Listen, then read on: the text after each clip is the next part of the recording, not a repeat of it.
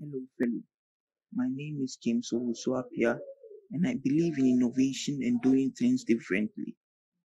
This video has been prepared for you to guide you through some well-known concepts that will aid your studies and preparations towards exam. Due to COVID, we cannot meet in person to discuss, so I hope this video finds you well and helps you achieve excellence. Thank you.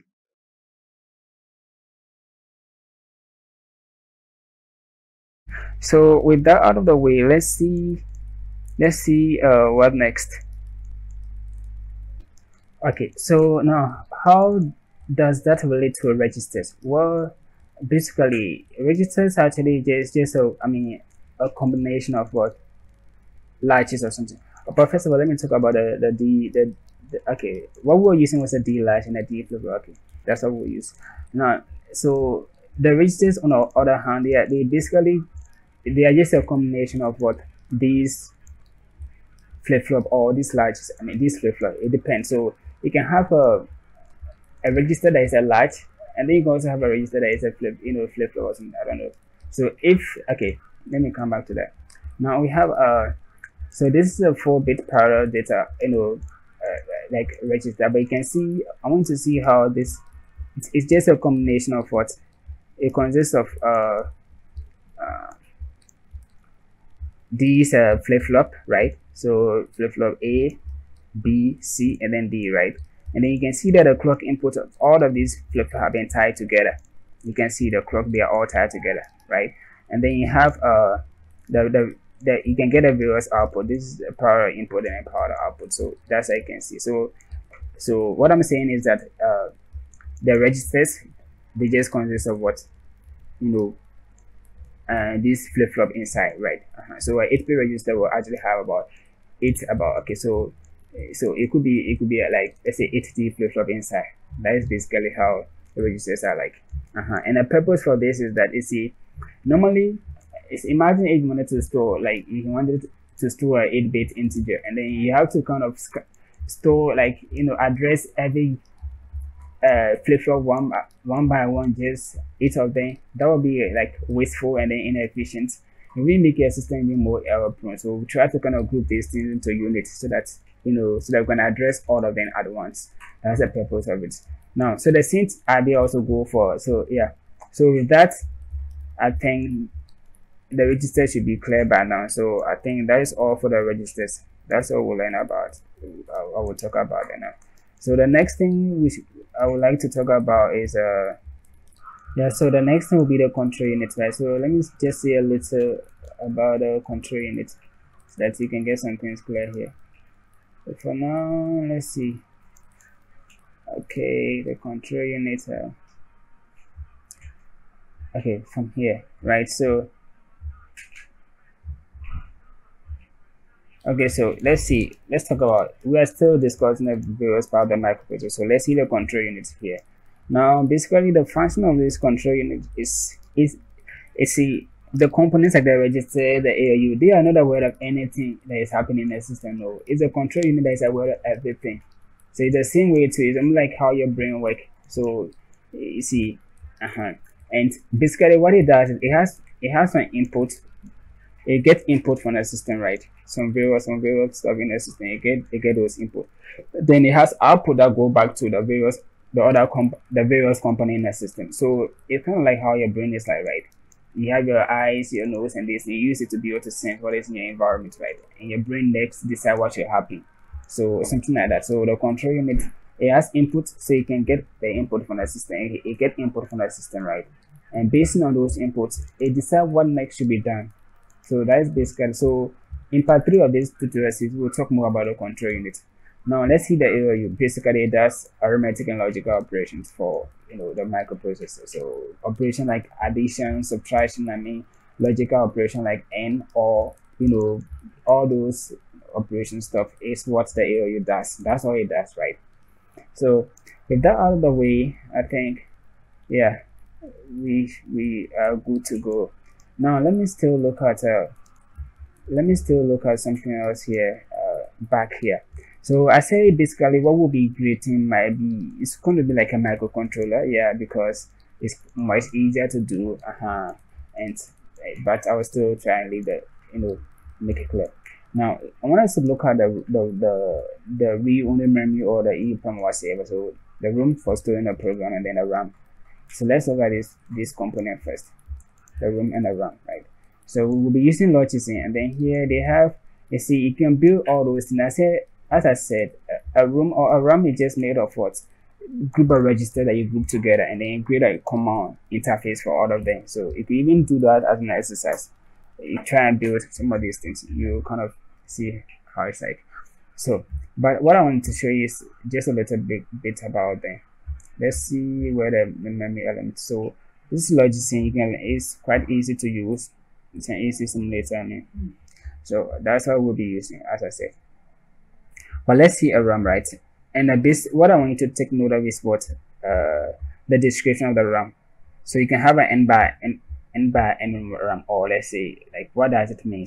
So let me get something clear here. I have something here. Okay, so yeah.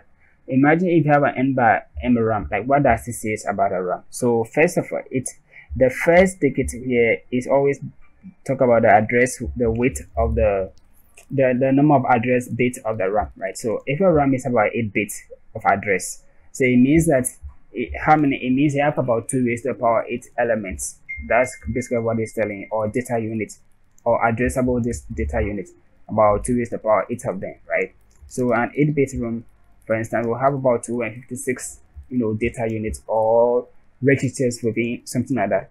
So and then the second digit always give you the size of each of the addressable units.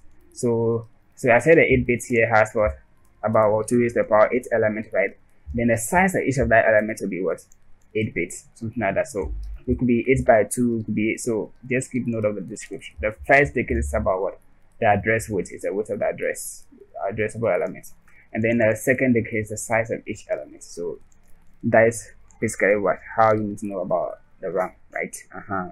And so you will see more of it in the second in part two of the video, right? Where we'll design our data path. I'll talk more on that. So with the RAM, I wanted to also say a little bit about the ROM. So normally in your microcontroller, let's say, let's take a microcontroller for instance. Okay, Atmega, right? We have a flash memory where uh -huh, but first of all, let's talk about the architecture. The, the, the, the two main, the two architecture used for microprocessor and microcontroller design. So we have the first one being the von Neumann architecture.